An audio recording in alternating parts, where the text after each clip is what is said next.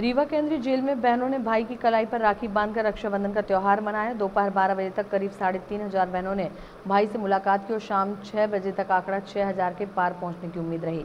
सुबह से ही बहनें भाइयों ने मिलकर मिलने और रक्षा सूत्र बांधने जेल पहुँचने लगी। जेल के बाहर बहनों की लंबी कतार लगी रही।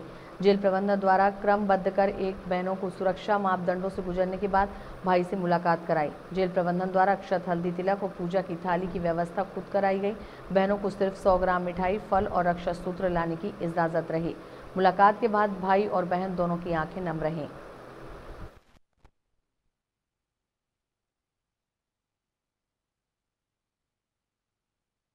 मेरा नाम सुमन पटेल है मैं मऊगंजी से आई हूँ।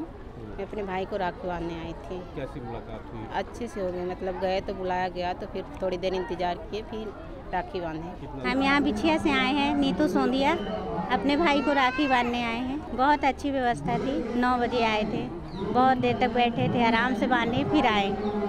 देखिए, आज रक्षाबंधन का त्यौहार केंद्रीय जेल रीवा में पूरे हर्षोल्लास के साथ मनाया जा रहा है। सुबह साढ़े सात बजे से रजिस्ट्रेशन प्रारंभ हो गया था, जो आठ बजे से मुलाकात चालू हो गई है। और दोपहर बारह बजे तक लगभग एक हज़ार बंदियों पर साढ़े तीन हज़ार के आसपास बहनों की मुलाकात कराई जा चुकी है।